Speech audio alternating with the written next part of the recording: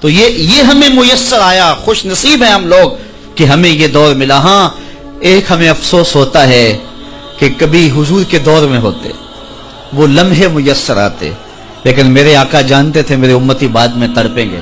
حضور نے جو ہے وہ ہمیں آنے والوں کو تسلی دیتے ہوئے اتنی خوبصورت بات کی۔ ایک دن صحابہ بیٹھے تھے۔ فرمایا تو با لمن رانی و آمنا بھی و تو با سبا مرات من لم یرانی و آمنا بھی فرمایا، صحابہ تمہیں مبارک ہو، تم نے مجھے دیکھا اور میرے اوپر ایمان لائے۔ اور فرمایا، انہیں سات مبارکیں ہوں، جنہوں نے نہیں دیکھا ہوگا، پھر بھی ایمان لائیں گے۔ نفس ایمان کی حضور نے سات مبارکیں دی ہیں۔ توبا لمن رانی و آمنا بھی و توبا سبا مرات من لم یرانی و آمنا تو کہا، انہیں سات مبارکیں ہوں، جنہوں نے دیکھا بھی نہیں، پھر بھی نام پہ تڑپ رہے ہوں گے۔ اللہ اکبر، نام سن کے جان مارنے کے لیے تیار ہوں گے۔ حضور کا نام آتا ہے، آنکھوں میں آنسو آ جاتے ہیں۔ دل تڑپتا ہے۔ کیا کیا کیفیات باطن ہوتی ہیں؟ تو یار یہ کوئی چھوٹی دولت ہے؟ حضور کا نام سن کے یہ کیفیت نصیب ہو جائے۔ یہ ان کے پیار کی علامت ہے۔ پیار ہوتا ہے تو آنکھوں میں آنسو آتے ہیں۔ اور جہاں آنسو ہوتے ہیں، وہاں رحمتیں ہوتی ہیں۔ علامہ رومی فرماتے ہیں، جہاں پانی چلتا ہے، وہاں سبزہ اگتا ہے۔ اور جہاں آنسو بہتے ہیں، وہاں رحمت اترتی ہے۔ تو یہ ان کے پیار کے آنسو ہے، یہ ان کی محبت کے آنسو ہے۔ بلکہ امام غزالی نے غالباً لکھا ہے کہ حضور کے پیار میں، اللہ کی خشیت میں جو آنسو آئیں، تو ان کو صاف نہ کرو، بلکہ ان کو رخساروں پہ مل لیا کرو۔ یہ تو خوش نصیب آنسو ہیں جو حضور کی یاد میں بہے ہیں، جو حضور علیہ السلام کے ذکر میں بہے ہیں۔ تو یہ میری اور آپ کی خوش بختی۔ اور اگر وہ نہ آتے، تو ہم آج بھی اندھیروں میں ہوتے۔ ظلمتوں میں ٹھوکریں کھا رہے ہوتے، اگر حضور تشریف نہ لاتے۔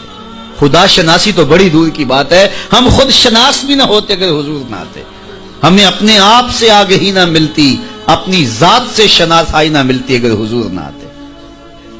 ورنہ دیکھیے کہ آج کتنے لوگ عقل و بینش، فہم و ادراک میں کتنے آگے ہیں۔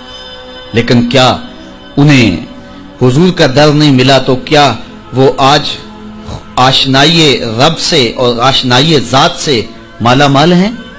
کتنے لوگ ہیں؟ پی ایچ ڈی ڈاکٹر ہیں، لیکن بتوں کے آگے ہاتھ جوڑے۔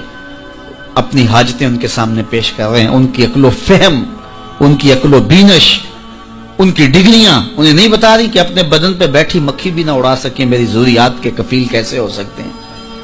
لیکن آگے کھڑے ہوئے ہیں۔ اللہ اکبر۔ لیکن دوسری جانب میں ایک مثال دیا کرتا ہوں۔ میں ایک بچپن میں ایک چیز دیکھی کہ ہماری مسجد میں ایک بچہ اپنے پینچے کو مل مل کے دو رہا تھا۔ تو میں نے دور سے جھڑکنے کے لہجے میں اسے کہا کہ تم نے اتنا زیادہ پانی کھولا ہوا تو وہ کہنے لگا جی میں گلی سے گزر رہا تھا تو کسی جانور کے پیشاب کا چینٹا پڑ گیا اور میں سکول جا رہا ہوں۔ اور وہ کوئی درس نظامی کا فارغ تحصیل نہیں تھا کہ اس نے نجاست غلیظہ و خفیفہ کیا کام پڑے ہو تو اس سے میں سوچنے لگا کہ اس ڈاکٹر کو تو سمجھ نہیں آئی جو گائے کا پیشاب تبرک سمجھ کے پی رہا ہے۔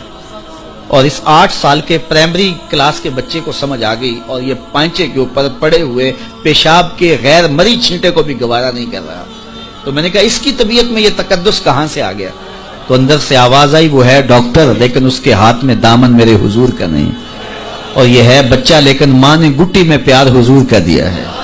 اس لیے تقدس اس کی روح تک اتر گیا ہے، اس کے باطن میں اتر گیا ہے۔ تو یہ ان کے صدقے سے میں زندگی کا نور نصیب ہوا ہے، ورنہ آج بھی ہم اندھیرے اور ظلمت میں ہوتے، اور آج بھی ہم کسی بت کے آگے ہاتھ جوڑے کھڑے ہوتے، اگر ان کا در نہ ملتا، ان کی چوکھٹ نہ ملتی۔ اور ان کی دہلیز میسر نہ آتی۔ اور آج زندگی کا سارا نور اور باطن کے سارے اجالے اور شعور و عقل اور فہم و ادراک کی ساری دولتیں جو ہمیں میسر ہیں یہ حضور علیہ السلام کی کی, کی ولادت کے صدقے سے ہمیں میسر آئی ہیں۔